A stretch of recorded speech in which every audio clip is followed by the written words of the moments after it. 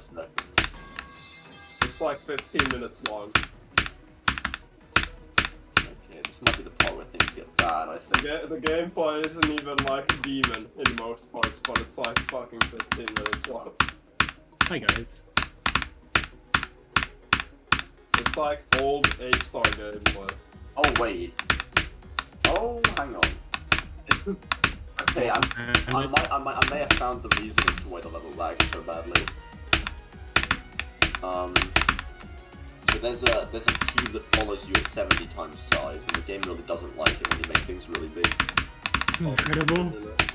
So I think that might be part of the cause. He's just chilling, man. Uh, there's a lot of other really big stuff, like a lot bigger than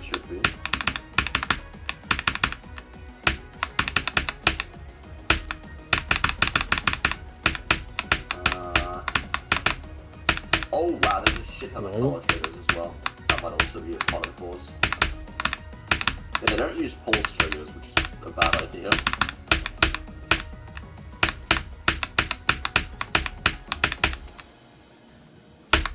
Oh, I actually beat it now. That was fucking awful. Why Fucking